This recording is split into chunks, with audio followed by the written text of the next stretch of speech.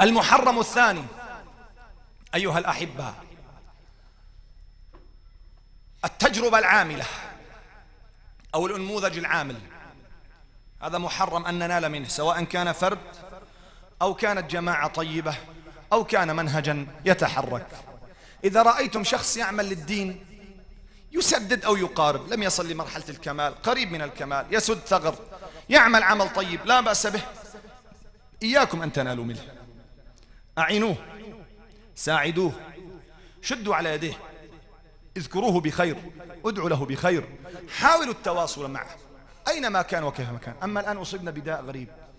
كلما ظهر شخص يعمل يسارع الجميع لتحطيمه هكذا قيل وقال كلما ظهر نماذج نموذج عمل هنا وهناك يمثل فلان أو يمثل مجموعة شباب أو تجد فورا التهم جاهزة والهجوم جاهز وأينما ذكروا يذكر بإشارة الاستفهام وإشارة الظن.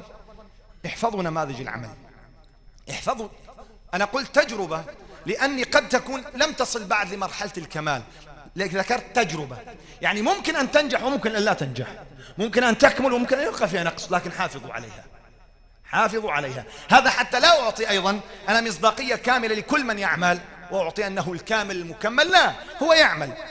هو يسد ثغرا من ثغور العمل سواء كان برنامج دعوي أو سواء كان برنامج على إحدى الفضائيات الملتزمة الجيدة يعمل بها أو سواء كان نظام كاسيت يوزعه أو سواء كان موقع جميل على الإنترنت يقوم به أو سواء كان حركة عاملة سواء كان شخص أو أشخاص أو حتى تجمع ضخم جدا. احفظوا نماذج العمل. الجيدة والتي هي تحت الشمس واضحة وتعمل لهذا الدين لأن الأشرار أكثر من الأخيار. ولو أردنا أن نحصي جميع الأخيار الذين يعملون على وجه الأرض لا يشكل إلا واحد بالمليار من الأشرار. فاحفظوهم نحطمهم أيضا نبيدهم نسقطهم نجعلهم يحبطون أو ييأسون. إذا رأيت نموذج ما شاء الله بارك الله فيه جيد ممتاز. قد يكون فيها النقطة هذه لكن إن شاء الله يكملها. وأحاول التواصل معه وأنصحه وأشد على يديه. هذا محرم. إذا رأيتم إنسان يعمل أو نموذج يعمل فاحفظوه. أما مو تشوف لي واحد دجال مرتزق عم يكتب حجب ويمسح للنسوان تقول ما شاء الله نموذج عمل. تعال نحفظ بارك الله فيك. لا قولوا لا بارك الله فيك. تماما؟ لا تجد إنسان يتاجر بدين الأمة وعقيدتها على غير هدى أو بجهل أو بزندقة أو باطنية أو بمصطلحات وشطحات وتقول هذا نموذج عمل هذا ليس نموذج عمل.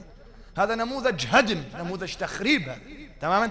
يجب أن تميز بدقة بين نموذج العمل الأقرب إلى الصواب أو صواب وبين من يخربون باسم الدين وتحت مصطلحات الدين. هذا محرم ثاني أيها الأحبة إياكم أن تقتربوا منه. وحافظوا عليه.